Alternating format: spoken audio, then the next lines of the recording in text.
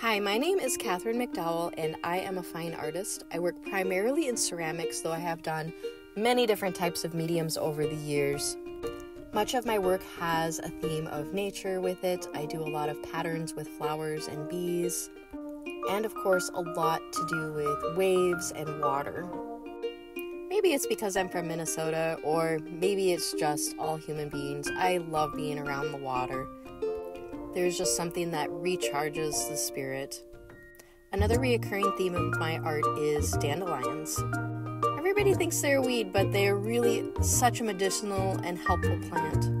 When I'm working in ceramics, I love to push the form and see how different I can make things, um, how I can make handles differently, um, and the different materials that I can use with ceramics. I love to experiment. Thanks for listening to me ramble on about my art.